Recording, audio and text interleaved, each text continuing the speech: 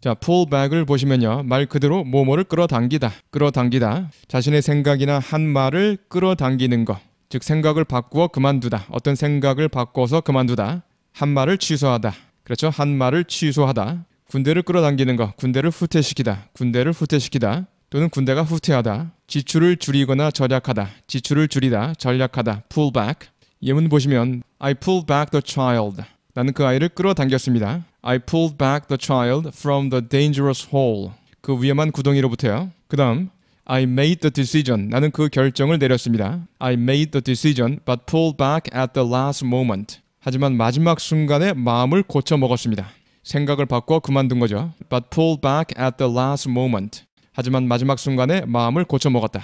The government has pulled back from sending the navy there.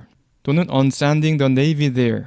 이렇게 pull back from 뭐뭐뭐 또는 on 뭐뭐뭐 뭐뭐로부터 후퇴하다. 그래서 어떠어떠한 것을 취소하다. 그래서 그곳으로의 해군 파견을 취소했다. The government has pulled back from sending the navy there. 그곳으로의 해군 파견을 취소했다. 그 다음에 the troops are pulling back. 군대가 철수하고 있다. 그 다음에 I took one look at the snake. 자, 뱀을 한번 보군요. and pulled back. 뒤로 물러섰다. I took one look at the snake and pulled back. 뱀을 한번 보고 물러섰습니다. 그 다음에 people are pulling back. 사람들이 지출을 줄이고 있다. 절약하고 있다.